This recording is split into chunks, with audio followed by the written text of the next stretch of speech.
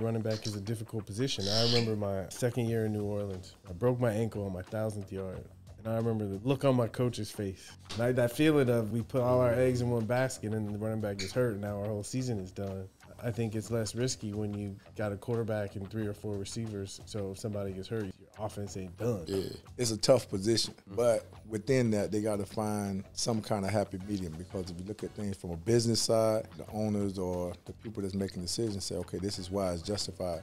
But also, when you have that special player, you got to take care of him. You, know, you got to make sure you're doing the right things by him. And as a running back, of course, you want to get all these stats, you want to do all those things, but you got to make sure you understand what it is. You know, this is what the sport is. Like, you got to be ready. You got to go through all this, and sometimes you might not get the lucky breaks. You got to take care of yourself. But at the same time, you got to play.